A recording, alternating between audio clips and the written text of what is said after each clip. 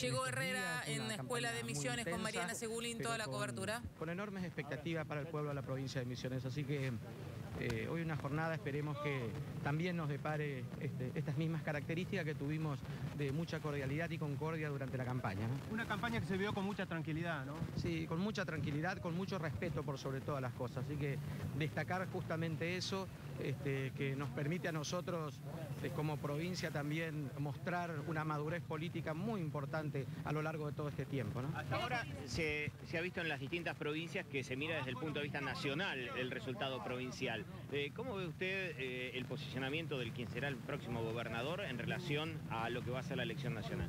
No, nosotros en nuestra provincia discutimos las cuestiones misioneras.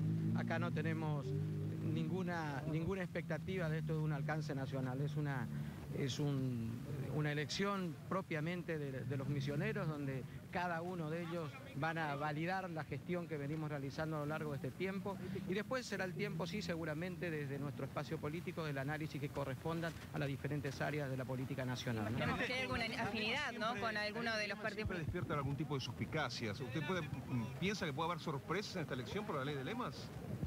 No, eh, esta es una provincia que tiene esas características en base a, en base a la cuestión electoral. La, ley, la ley de lemas, el área de lemas está solamente para, para intendentes, no para gobernador. Entonces se define mucho más la, la cuestión que hace a, a los esquemas políticos de las raíces troncales más que nada. Así que es una, una cuestión propia de la provincia y las definiciones que tenemos. Herrera, quería preguntar. y cómo va a continuar su día. Con mucha tranquilidad, yo siempre digo que, que estos días, eh, días de las elecciones, este, son días de la familia también, sí que lo estamos viviendo con mucha tranquilidad, pero también con una enorme responsabilidad y compromiso con la democracia. ¿no? A esta hora mucha participación de la gente, doctor. Sí, sí, eh, bueno, nos ayuda también el clima, un poco dejó de llover, espero que también en el interior de la provincia esté lindo el clima y eso este, significa también muy importante por la participación de todo el pueblo misionero. ¿no? A ver, Herrera piensa que hay alguna afinidad con algún partido nacional teniendo en cuenta, bueno, la expectativa que hay del alineamiento del Frente Renovador de la Concordia. No, en absoluto.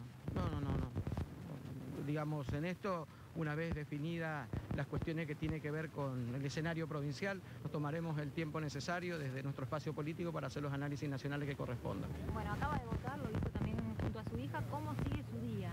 ¿Qué es lo que va a realizar? Eh, voy, a, voy a seguir este, caminando la, la ciudad, caminando la provincia, vamos a ir a, seguramente a, a alguna localidad del interior a compartir con ellos.